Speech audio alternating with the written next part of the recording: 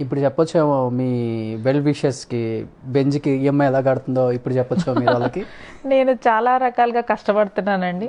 Acting కష్టం అని నేను అనను నాకు చాలా డిఫరెంట్ వర్క్స్ uh, నేను చూస్ చేసుకున్నాను. Uh, సినిమాలు కానీ uh, మన టీవీ షోస్ కానీ అండ్ అసలు నేను ఎందుకు ఎక్స్ప్లెయిన్ చేస్తున్నాను ఇలాగా? నాకు అర్థం కావట్లేదు. సో మిమ్మల్ని చూస్తూనే ఉన్నారు కదా స్క్రీన్లో టీవీస్లో కానీ బిగ్ స్క్రీన్లో కానీ and ya I told you Herbalife సూపర్వైజర్ని నేను.